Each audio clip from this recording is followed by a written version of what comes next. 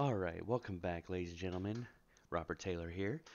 Um, this episode's going over uh, an Autoless material. Now because I don't have splat masks for what I provided for uh, the project and because I didn't want to go through and recreate everything, I've opened up a project that I've been working on uh, because I had the uh, necessary splat maps uh, to show you guys how to do both ways.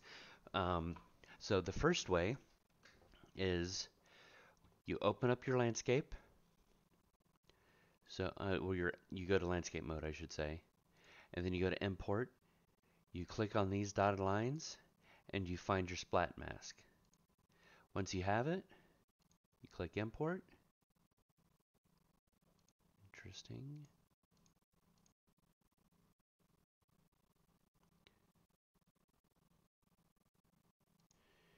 Strangely enough.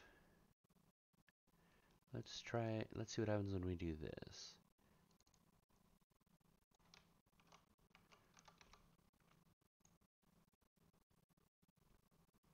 No, I don't want to do that. Anyways, that's how you do it, and it's supposed to uh, import those in for you. I'm not sure why that error was there. It's probably because I use Terrain Magic. Uh, it's a better tool for landscape design in my opinion. That's how I got all of this happening here. Uh, but anyways, the second way of doing this, oh, whoops, go to select, is through uh, setting up the splat masks and then and in the material. So I was lazy with it. I only have one layer going into it.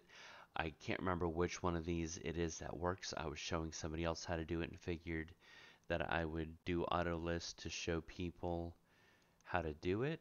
So I'm going to want to make sure I have the right one. Hit browse. Okay, I did. Select this. And I'm going to click on the instance. And obviously it's black because it doesn't know what to do and we come here to landscape and to paint. Hit plus weighted blend okay.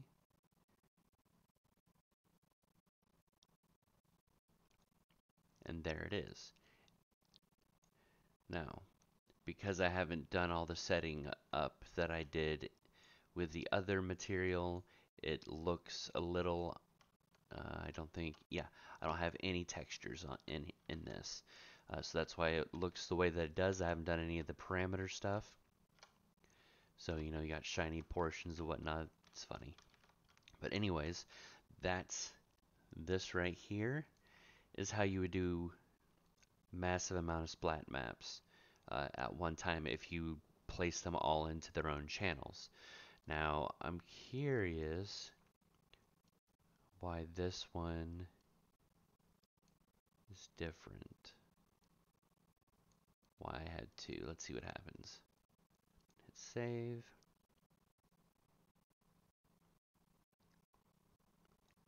It sharpened it up. Okay. So that was the better one. Yeah, much sharper. So yeah, that's how Autoless works um, you can either get the splat map maps and put them in here directly.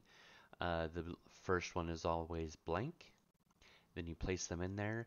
Obviously, if I had more of those, I could then directly put these in there. An important thing to note is that you need to know the size of your landscape and divide the coordinates by that size. Otherwise, it's going to tile this over the entire landscape, and that's going to look ridiculous. So, that is everything for Autoless. Thank you so much for watching. And if you are wanting to watch the auto side of the material, please feel free to uh, select that video as well. Have a good one. Bye.